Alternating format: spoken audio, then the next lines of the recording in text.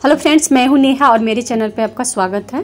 Friends आज की इस वीडियो में मैं आपको एक बहुत ही इफ़ेक्टिव मैजिकल फेस पैक के बारे में बताने वाली हूँ, जिसका अगर आप एक बार ही प्रयोग करेंगे तो एक बार में ही आपको बहुत ही अच्छा रिज़ल्ट देखने को मिलेगा।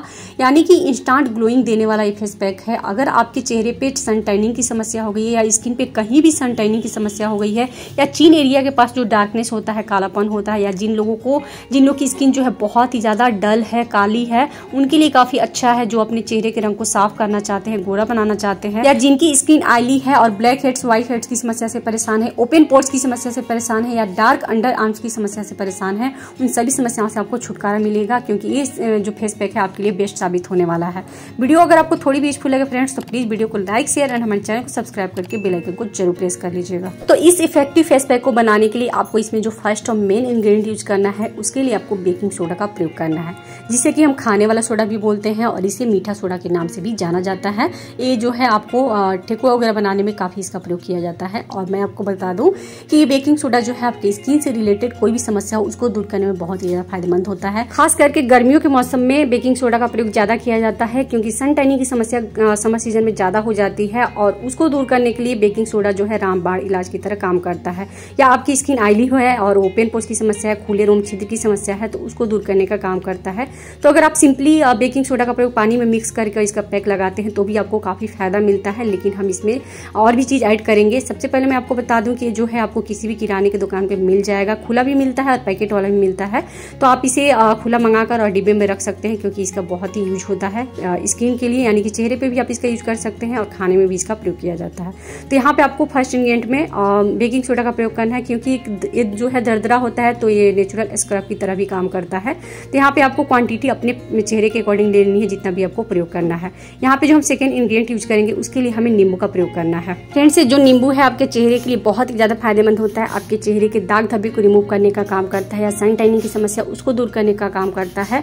और यह जो है एक नेचुरल ब्लीच की तरह काम करता है। यानी कि जो आपके चेहरे पे फेसियल हेयर होते हैं, उसको ब्लीच करने का काम करता है, आपके स्किन के कलर में चेंज कर देता है। और समर सीज़न में तो बहुत ही अच्छा होता है। तो जिन लोगों को अगर नींबू सूट नहीं करती होगी, वो इसका प्रयोग नहीं करेंगे। लेकिन अगर सूट करती होगी तो प्रयोग इसका ज़रूर कीजिएगा, क्योंकि बहुत ही ज़्यादा इफ़ेक्टिव होता है।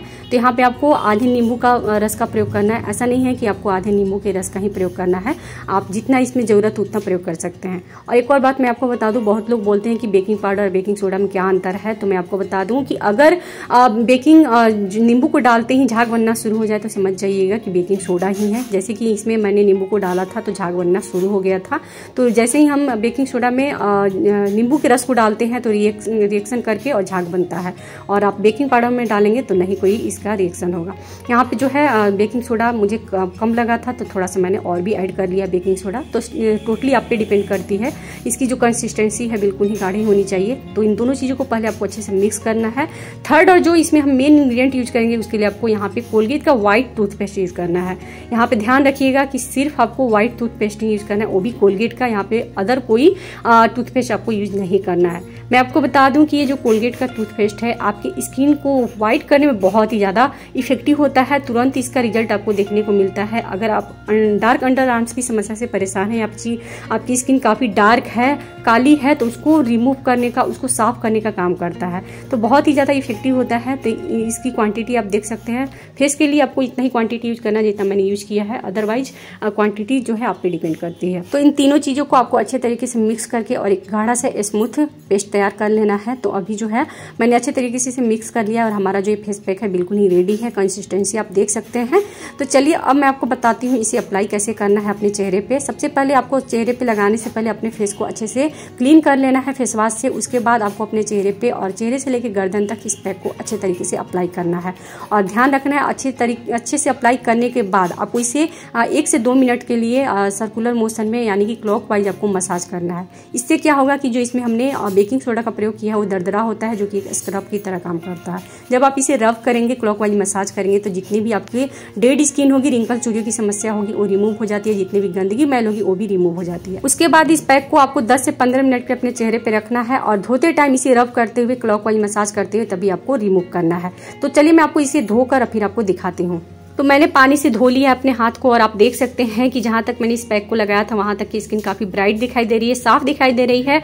और मैं आपको बता दूँ कि ये तुरंत ही रिज़ल्ट देता है। जब आप इसका प्रयोग करेंगे तो आपकी स्किन काफ़ी साफ़ दिखाई देगी। जो भी डर्ट गंदगी मैल होगी, आपकी स्किन से रिमूव हो जाएगी। डेड स्किन जो होगी, वो रिमूव हो जाएगी और काफ़ी स्किन आपकी टाइट और सॉफ्टनेस दिखाई देगी। तो ये बहुत ही इफ़ेक्टिव फेस पैक है। आप इसे ज़रूर ट्राई कीजिएगा। अगर आप इसे वीक में कम से कम दो से तीन बार भी प्रयोग करते हैं तो इससे आपकी जो भी स्किन से रिलेटेड समस्या होगी, सन टाइनिंग की समस्या डार्कनेस की समस्या, वो सब जो है दूर हो जाएगी और आप इसे अंडर आर्म से भी यूज़ कर सकते हैं। तो फ्रेंड्स आप इसे ज़रूर यूज़ कीजिएगा, आपको इंस्टांट रिज़ल्ट मिलेगा। आई होप कि आपको हमारी वीडियो काफ़ी यूजफुल लगी होगी तो प्लीज़ वीडियो को लाइक कीजिएगा, ज़्यादा से ज़्यादा शेयर कीजिएगा और ऐसे और भी अच्छी अच्छी होम रेमेडीज की वीडियोज़ पाने के लिए हमारे चैनल को सब्सक्राइब करके बेलाइकन को ज़रूर प्रेस कर लीजिएगा। धन्यवाद।